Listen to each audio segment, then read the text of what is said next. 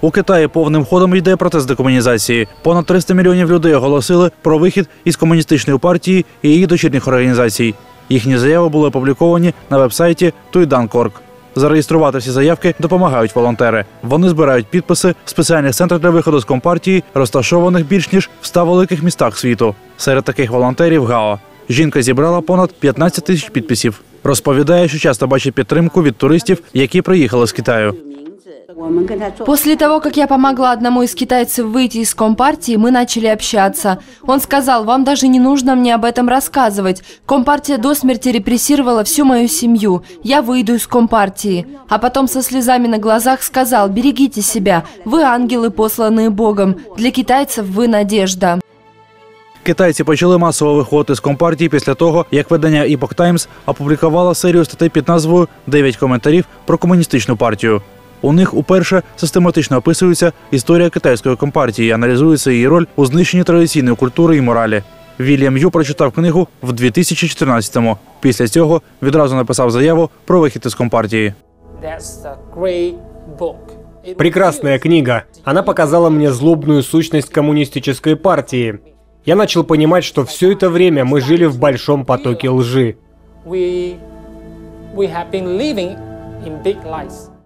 Книга перекладена на 27 мов і українською також. Ознайомився з нею і екс-президент Леонід Кравчук. Каже, збірник змусив багато про що задуматися. Не просто, що комуністична партія це зло, що китайські комуністи мільйонами пішли з партії, коли е, почитали цю книгу. Тепер із китайської компартії і її дочірніх організацій щодня виходить 100 тисяч китайців.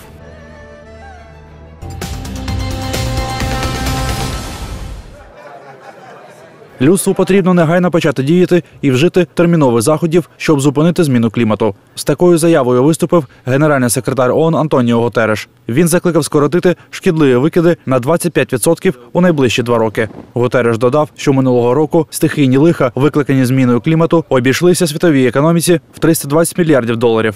Генсек додав, що у 2019-му має намір зібрати в Нью-Йорку кліматичний саміт, щоб мобілізувати міжнародну спільноту. Також Гутереш, коментуючи ставлення адміністрації США до угоди, сказав, що в усьому світі роль урядів стає все менш значущою, і дедалі важливішу роль відіграють економіка і суспільство.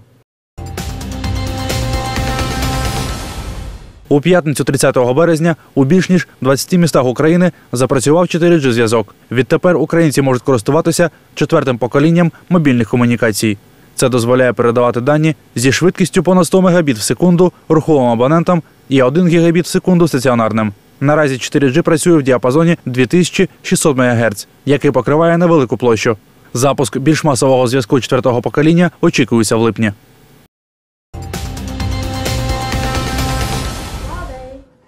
27-й рік поспіль найпопулярнішою породою собак у США залишається лабрадор ретрівер. Про це оголосив американський клуб собаківництва, який щорічно публікує свій рейтинг.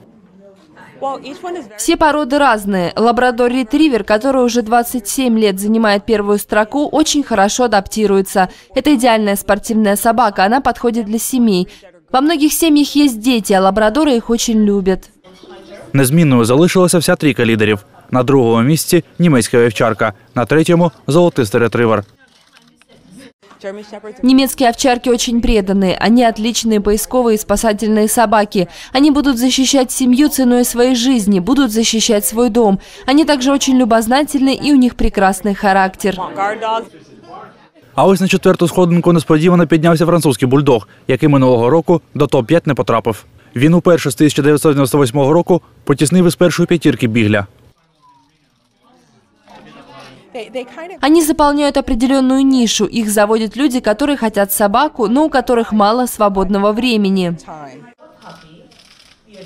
На п'ятому місці влаштувався англійський бульдог. Американський клуб собаківництва некомерційна організація, що веде реєстр порід собак, заснована в 1884 році.